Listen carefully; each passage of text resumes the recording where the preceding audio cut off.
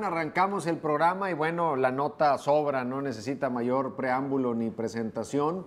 Hoy vivimos un partido histórico. A ver qué opinan Sergio y Andrés, pero me parece que, como se ha dicho ya en el transcurso de la tarde, después del maracanazo, sin duda la derrota más dolorosa, más humillante en términos deportivos que sufra la selección de Brasil desde que inició la historia de las Copas del Mundo. Yo creo, Toño, todo el mundo recuerda el maracanazo, hoy decían que iba a poder descansar en paz el portero, bueno, lo, lo decían irónicamente, yo creo que esta es peor.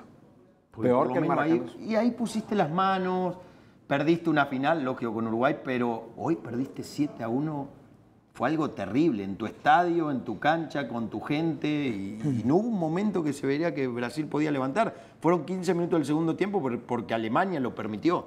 Para mí fue hoy una actuación sobresaliente de Alemania, pero también un Brasil que dejó muchísimo que decir. Pero no, bueno, yo creo que Brasil nunca mostró en el Mundial un, un gran nivel. Nunca, Se defendió y la sobrellevó y demás. Pero no sé, Andrés, parece como que el primer gol los, los hipnotiza, los sorprende, no lo esperaban. Y, y el equipo ahí pierde la vertical, pierde la concentración, pierde todo. Y ya lo que pasa después es como, como entrar en una pesadilla y cuando acordaron ya el daño estaba más que hecho, ¿no? Hay que decirlo, estoy de acuerdo, Toño, hay que decirlo. El primer tiempo o, lo- o lo- o los primeros minutos era, era muy parejo, me parece que era parejo la, el partido. Sí creo que cae el gol y, y- y marca un point break, ¿no? Es decir, a partir de aquí me- vamos a ver si nos podemos eh, eh, eh, recapacitar. El problema es que ahí después ocho, en, ahí en ocho minutos hay tres goles. Cuatro. creo que cuatro, Cuatro goles. goles, cuatro Eso- goles. Qué eso- facilidad que hay Creo que goles. eso marca, marca el partido. Estoy de acuerdo con Sergio, el partido hoy, hay que decirlo, el maracanazo va a quedar desde los 50. Esto va a quedar quizá muchísimo más. Una, una Brasil, estoy de acuerdo contigo, eh, Toño, no era la mejor Brasil que hemos visto. Un equipo que quizá llegó muy lejos, porque los rivales eh, le permitieron eh, eh, llegar tan lejos. Quizá la, la- la localía también hay que, hay que marcarla, los arbitrajes que también no, no fueron tan favorables para los equipos rivales de Brasil. Hoy demuestra eh, Alemania que, que es un serio candidato, que siempre ha sido un serio candidato al título, y hoy devoró a un Brasil que es, para mí, la peor Brasil, o mejor, vamos a hacerlo más claro, el peor equipo, tácticamente hablando, de lo que es el Mundial, uno de los peores. ¿Qué, de qué todo el Mundial. el marcador, ¿qué refleja más? ¿Lo bueno que es Alemania o lo malo que fue Brasil? Un poco las dos cosas. Yo creo que coincido con Andrés que el Brasil este es muy malo, porque hoy argumentan que Thiago Silva, que Neymar no. Brasil es un conjunto que con ellos dos en la cancha no fue superior casi a ninguno de los rivales que enfrentó. Digo, porque hasta el primer partido con Croacia hubo un, pen- un penal inexistente, hubo un momento que Croacia lo dominó. Con México se vio un Brasil que por momento pudo ser superior, pero no le termina ganando. Eh, yo creo que, que las dos cosas, Toño. Creo que un gran Alemania, una gran Alemania, Alemania es un gran equipo. Me parece que hoy apareció el verdadero Alemania, no el de Argelia, que hubo momentos que Argelia lo dominó y Claro. tuvo la posibilidad hasta de ganarle el partido. Yo creo que un poco en el fútbol son las combinaciones de los dos. Le decía que irónicamente hay más tiros al arco de Brasil y más tiros de esquina de Brasil que de Alemania. Alemania fue contundente, Fue Alemania directo. fue increíble. Alemania, no sé, ¿qué falló? Tres, cuatro situaciones de gol y metió siete. Y Brasil llegaba y llegaba y llegaba mal, pero llegó el segundo tiempo. El primer tiempo fue algo, los cuatro goles en ocho minutos fue algo terrible, pocas veces visto. Sí, Ahora hay que decirlo, ¿no? Eh, eh, es cierto lo que dice Sergio, el equipo no es el mejor, no es de los mejores mundiales que ha tenido Brasil, pero sí, yo sí, yo sí creo y considero que la ausencia de Neymar sí pesa anímicamente en un, en un- en un- en un grupo como este. Y lo, y lo principal, ¿no? El capitán, el hombre clave, el, el- el- el hombre que, que daba la, que dio la- lo- las victorias, ¿no? Eh, Thiago Silva, sí afectan. Me parece que sí afectan. Ahora. Para mí más Thiago. Claro. Para A mí más Thiago porque era el que le no daba sé el orden a la defensa. No, definitivamente en, en la cancha Thiago, pero también Neymar te daba esa parte eh, anímica que a veces se necesita El en el campo, el liderazgo. Las ausencias pesan, no puedo decir yo que si estuviesen ellos el partido hubiese, hubiese sido otro, hubiese, hubiese pasado lo mismo. Lo que queda claro es que hoy Alemania demuestra que la colectividad, que hay individualidades, pero siempre en, en- en- es decir, eh, priorizando siempre la colectividad. El equipo brasileño era un equipo que no tuvo medio campo, nunca, lo cambió cinco veces, cuatro veces en el torneo. Y lo mejor era el aspecto defensivo. Y hoy que no estaba Thiago Silva, como dice Sergio, se hicieron siete y pudieron ser más. Solo porque en la segunda parte creo que Alemania decidió Sí, no, no, a ver, el, otra- otro el que diga que fue un gran segundo tiempo de Brasil está loco. El segundo No. tiempo de Brasil fue por el ímpetu, por el- las ganas No, y y, porque Alemania equipo- también dosificó. Y el entrenador muy bien los cambios, el alemán. Sí. Da, saca a Hummel, que era un jugador que podía correr riesgo de una patada, una expulsión. Después saca a Klose. Digo, manejó el partido a su antojo. Lo hizo manejó falta técnico muy, pero muy bien. Sí. Eso sí, hizo falta técnico a Brasil. Bueno, parece. y en las tribunas pues se reflejó lo que todos sabemos, lo que representa esta victoria, lo- esta victoria alemana, derrota brasileña, la gran tragedia, las reacciones del público en las tribunas simple y sencillamente demostraban lo que para este país pues va a ser esta derrota y cómo la van a cargar, con qué dolor la van a tener que procesar. Además, en un país convulsionado previo al Mundial por todos los elementos sociales que ya sabemos y donde únicamente el título de la Copa del Mundo hubiese borrado por completo toda la situación eh, de agitación social que había en el país. Creo que hoy se va a recrudecer porque va a ser el pretexto para que tome. Ya hubo problemas, creo, Antonio. Tú lo dijiste ayer, que ellos tenían miedo de una final Argentina-Brasil Es por que- el problema que podía suceder. Pero lo de hoy fue trágico. Lo de hoy creo que... Y ya empezaron los problemas. Es que en creo qué que el escenario pueblo... ibas a imaginar, deja tú que ganaron o que A ver, perdieran. yo ahí creo que hoy el favorito era Alemania.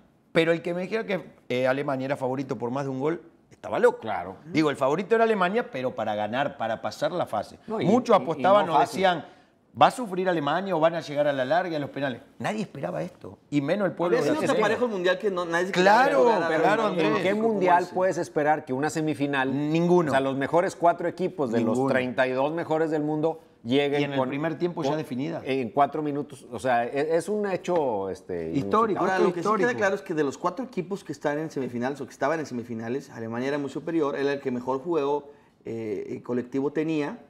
Y hoy, bueno, se ve demostrado, ¿no? Eh, la, sorpre- la sorpresa de, este, de esta semifinal es Argentina, porque tiene veintitantos años de que no llegaba que no a esa llegaba.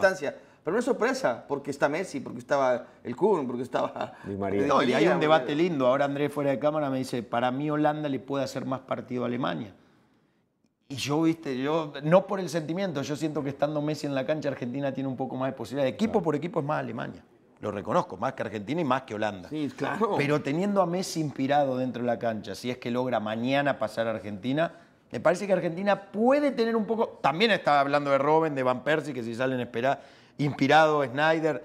Creo que cualquiera de los dos que pase mañana le puede llegar a dar pelea al favorito que va a ser Alemania. Oye, ¿y dónde irán a estar, si se da el supuesto que gane Argentina, las simpatías de los aficionados brasileños que van a abarrotar el Maracaná? Con Alemania. Es Aunque los haya personal. eliminado a ellos. Es una opinión personal. O sea, puede más la Con rivalidad Alemania. con Argentina. Personalmente, te que lo el dolor de hoy que aplaudieron Alemania- a los alemanes. Hoy- Yo hoy- creo, Toño, con Argentina. Hoy los argentinos Con están Alemania, perdón, trabajando. Los argentinos, es lamentable quizá, pero es parte del, del y de- folclore. y del sí, del folclore. Están festejando en el metro. Está Diego, te enseñé hace rato una Sí, foto de siete. Diego, le enseñé foto de Sergio. De Diego haciéndole eh, a siete, ¿no? A, a la cámara. Eh, así es. Yo creo que Argentina tiene, el- Argentina tiene muchas posibilidades, eh, si gana mañana, de coronarse en Brasil. Pero Andrés, mañana, por ejemplo, algo- la gente mexicana, ¿a quién va a apoyar? Argentina. Porque está muy fresco lo del no era penal, lo de Robben. que ¿Prefieres un no era penal o siete goles? No, no, no, a No, lo que... no era penal. Toda la vida. No, a lo que yo quiero llegar, Andrés. Muy buena la pregunta de Tonio. Yo creo, y no tengo duda, Tonio, que si llega Argentina, primero, bueno, tiene que pasar mañana a Holanda, que es muy difícil. Se van a volcar con Alemania totalmente. O van con el que los eliminó totalmente. antes que ir con Pero Argentina. toda la vida. Antes que ir Para con ellos el- sería una tragedia que Argentina Es salga bueno que suceda esto, en ¿eh? Argentina. No, no. En a mí me Brasil, tocó-. A mí me tocó en Brasil ir en, en, no sé, en un microbús o en un transporte para llegar a un paseo o lo que sea, y donde los aficionados argentinos que iban en el microbús con el chofer y con el guía del tour, le empezaban a cantar la canción De Maradona este, más de grande. Maradona Sí, más grande sí. que Pelé y olvídate. Bueno, ¿qué dice la prensa? ¿Qué dice la prensa internacional en torno a esta derrota y sobre todo la prensa brasileña? La mayor vergüenza de la historia, así de fácil, y aquí se habla de lo que decíamos, porque la derrota en Maracaná dolió, pero no fue vergonzosa. No, O fue por un gol. De buena lead y ni hablar. Pero esta sí ya llega al tema de la humillación, como dice ese titular.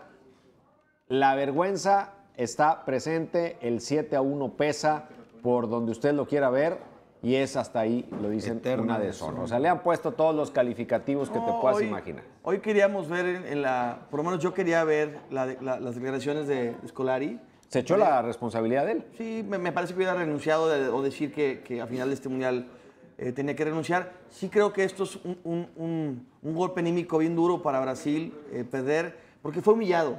Porque La manera, Andrés. La- en 30 minutos se acabó, se acabó el partido, se acabó la ilusión. Eh, y bueno, son, son, siempre quedará en el análisis si, como dice Sergio y tú, Toño, las ausencias pesaron. Yo sí creo eh, que la ausencia de, de Neymar en el grupo, eh, al momento de que se lesiona, eh, anímicamente les pega a los jugadores. Me ha pasado en algunos equipos de la Liga Mexicana que suceda esto. Y el capitán. El capitán, la dupla que hacía con, este, con David Luis, era- eh, yo creo que era la- desde los partidos que vimos, eran impasables, porque lo- la ventaja que tenía Brasil sobre los demás rivales, más allá de la localía, era su saga. Y su saga hoy fue, Fue lo peor. fue lo peor. No, Fue lo hoy peor, fue terrible. El medio campo manera la terrible. saga, del medio para atrás Brasil hoy no existió. Pues lamentable y como le digo, partido que va a quedar para la historia. Así como su abuelito, su papá le platican del maracanazo y yo lo viví, pues este partido va a ser legendario. Toño, Dos mundiales tuvo Brasil en su país. A veces eh, países como Francia, que, que- que tuvo en su país, aprovechó y fue campeón. Y lo ganó. ¿Argentina? Eh, Argentina, cuando, cuando en el 7-8 lo tuvo. Inglaterra. Varios países Sí, sí, han, sí, han- hay han- mucho que- sí, sí, han- sí. han, este, aprovechado su localidad. México no lo tuvo dos veces y no lo, no lo pudo hacer. Brasil tampoco, pero Brasil es esos equipos que estás hablando arriba. exactamente de Brasil, que es un equipo con, con que Brasil historia. ya sale con un peso en los hombros impresionante en cualquier cancha del mundo, peor en un mundial, Hoy se corroboró, peor en Toño. tu país, peor con todos los antecedentes sociales que hubo, o sea, trae un peso muy fuerte. Hoy se corroboró, justo que decide los antecedentes sociales, lo que decían todos en el inicio de- del Mundial. El peso que tiene el jugador brasileño no lo tiene ningún otro jugador de ninguna otra selección. Es impresionante, se veía que no disfrutaban. El gol del partido pasado de Andrés Luis cuando va y lo grita, con la euforia que lo grita, el sentimiento, ellos estaban presionados verdad, Andrés. Es algo que se veía. Y hoy, les hoy lo corroboramos. es una raza muy, muy... Aparte, aparte, lógico. Que se mueve mucho por el tema anímico. O sea, eh, el alemán lo ves frío, lo ves más calculador, lo ves, y, y el brasileño, el, el americano pare- en general somos más de, de sangre caliente, más motiva- de la motivación. Me parece, Toño, que aparte de este equipo le falta trabajo. Eh, sí es cierto que no tienen a Romario, que no tienen a Ronaldo, que no tienen a estas figuras eh, históricas. Fred es un jugador, tú le dices allá que llegaste de los peorcitos que, que hemos visto en este mundial, pero también le falta trabajo, muchísimo trabajo. Yo vuelvo a decir, me parece de las elecciones de este mundial peor trabajadas. Y el mejor trabajado de los cuatro semifinalistas para mí es Holanda. Hoy la Trabajado presidenta, tácticamente, la, presidenta de Brasil perdió a uno de sus secretarios de Estado, porque eh, Scolari le hubiese dado eh, Claro. el, eh, el Si título, le daba el título, y con le ello la era mejor que cualquier decisión que tomara uno de sus funcionarios más altos del gabinete. O sea, era el, Sí, no, este resultado la mató. es como perder una elección. De hecho, Ahora, viene la, la elección. La- las, las lecciones que de hoy pueden, podemos, hay muchas, ¿no? Pero el- el- la mentalidad, es decir, creo que eh, estar preparados para ir perdiendo 1-0, inclusive 2-0. El equipo se desmoronó. O sea, el equipo, es cierto que, que- que Alemania era, fue, fue, fue duro, porque es un equipo durísimo, pero hay que aguantar. Le faltó personalidad, Le faltó personalidad al para asimilar el gol y, y seguir adelante. O sea, como que en la estrategia no traían y qué pasa si vamos perdiendo 1-0 o Exacto, si vamos perdiendo 2-0. exacto. No lo traían en registrado y pum. Como cuando nos hicieron el gol a nosotros, ¿no? Se nos anota Holanda y adiós y cuando acordamos penal y afuera. O sea, Falta fue un parpadeo y adiós. Esa es la palabra. Faltó liderazgo, alguien que levantara la voz en la cancha o en general desde el vestidor venir preparados. Yo no sé qué hayan platicado antes del partido o qué esperaban que pasara, pero el ir perdiendo un encuentro es algo muy Nuevamente se abre un marcador con la pelota parada. Pibe, Sí, ¿cómo, bueno, cómo es un increíble. vestidor o cómo te imaginas que pueda ser en esas instancias, en esas alturas, cuando llegan al medio tiempo? ¿Qué, No, qué bueno, les puede a mí decir el tocó estar, a mí tocó Ponerse a estar en el DF, un Necaxa, Monterrey. Como entrenador creo que debe ser lo- de lo más difícil, Tony, porque el jugador está anímicamente abajo y no, y vamos a seguir y vamos a luchar. Y, ¿Sabes qué te dicen generalmente? Que no nos hagan más goles. Es increíble, pero eso pasa. Mira, porque ya después de un 5-0, ¿cómo le vas a decir al equipo, vamos que vamos a ganar 6-5? hay una es mentirle y el jugador es muy inteligente. Entonces, lo que más se hace es, aguantemos. A mí me pasó acá al revés, con Teco, le ganábamos 6-0. a Teco en el primer tiempo, salimos el segundo tiempo y terminó 6-1. Salá nos dijo hasta de lo que nos íbamos a morir Mira. después. Porque el equipo se relaja y el otro entra Hay una semifinal Motivado. de Santos contra el equipo Monarcas, donde eh, Santos se ganó Monarcas, creo que 7-0, una cosa así. El equipo de Monarcas era elegido por el jefe. Y una de las razones por las cuales el equipo estaba tan desconcentrado fue porque se había lesionado a Romero. Era el capitán. la época del Pampa Romero que se lesionó la época del. Pampa. Se había lesionado un día antes, no estaba por jugar y el equipo no supo, no supo eh, conllevar, es decir, no supo controlar la ausencia importante de su capitán. Yo no quiero que sea similar a lo que pasa hoy, pero sí afecta y afecta muchísimo. Por eso sí creo que las ausencias de estos dos jugadores pesaron muchísimo, en la parte anímica y en la parte de personalidad que bien Porque ya al llegar al vestidor al medio tiempo ya no tienes oportunidad de corregir nada. No, o sea, no, no. vas Muy perdiendo difícil, 1-0, 2 a 0, te dices, bueno, puedo corregir, puedo intentar, pero Muy ¿sí? difícil. ¿cuántos fueron? ¿5-0? 5-0. Ya no puedes, no puedes. Aparte inteligente el equipo alemán al principio, creo que sabía que ellos querían la pelota, se defendió, se defendió, esperó, y cuando ellos se venían al ataque, sí es cierto, estaba balón parado, pero No, el primero, el primero. Después Pero- los otros llegaron a hacer tres toques dentro del Y área. digno de destacarse, por un lado, que se mantuvo el juego limpio, o sea, Brasil no se quiso cobrar la frente a patadas porque la frustración te puede llevar a había eso. una nada más, David Luis. Sí, sí, bueno. Al final. Pero en general era un partido que lo pudieron haber tratado de parar de otra manera o, o desquitarse de otra manera, no lo hicieron. Le, se le facilitó a Marco Rodríguez, que yo no sé si sea bueno o sea malo. Estuvo tan fácil el partido que el trabajo de Marco no destaca. Igualmente, O sea, no, va a brillar. Él no podía ir a la final, no pero yo creo que fue bueno. No, yo también creo que el trabajo ¿No, fue ¿No bueno. recordás la final de Marco Rodríguez acá cuando dirige que gana 3-0 Toluca?